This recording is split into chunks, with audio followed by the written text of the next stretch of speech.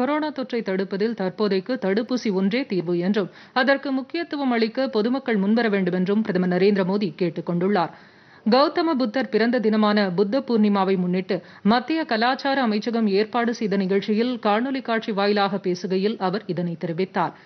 Corona பெருந்தொற்றை தடுக்க தடுப்பூசியை உருவாக்கிய விஞ்ஞானிகளுக்கு பாராட்டு தெரிவித்த பிரதமர் ஒரே ஆண்டுக்குள் தடுப்பூசியை விஞ்ஞானிகள் உருவாக்கியது மனித சக்தியின் வல்லமையை எடுத்துக்காட்டுகிறது என்றாா் கொரோனா தொற்றின் முதல் அலை உருவாகிய பின்னர் உலகில் பல மாற்றங்கள் நிகழ்ந்துள்ளதாகவும் தற்போது இந்த நோய் தொற்றை எதிர்த்து போராடுவதில் உலக நாடுகளிடையே சிறப்பான ஒருங்கிணைப்பு காணப்படுவதாகவும் அவர் தெரிவித்தார்.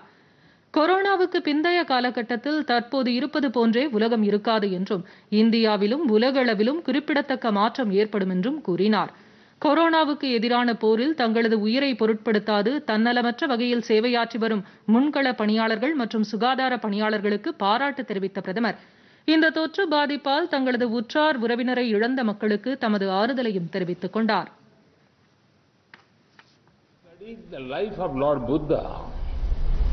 There is mention of the four sights. These four sights brought Lord Buddha face to face with human suffering. At the same time, it ignited within him the desire to devote his life to removing human sufferings. Lord Buddha taught us Bhavatu Sabba Mangalam.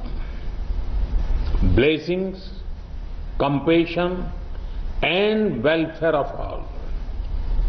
Today, there are still forces remaining whose existence depend on spreading hate, terror, and mindless violence. Such forces do not believe in liberal democratic principles. Gautama புத்தரின் போதனைகள் சமூக நல்லிணக்கத்திற்கு அடையாளமாக திகழ்கின்றது என்றும் பிரதமர் புகழாரம் சூட்டினார் கருணை சக மனிதர்களுக்கு ஆதரவு மற்றும் பிற செயல்கள் புத்த பிரானின் போதனைகளை நினைவூட்டுவதாகவும் அவர் கூறினார்.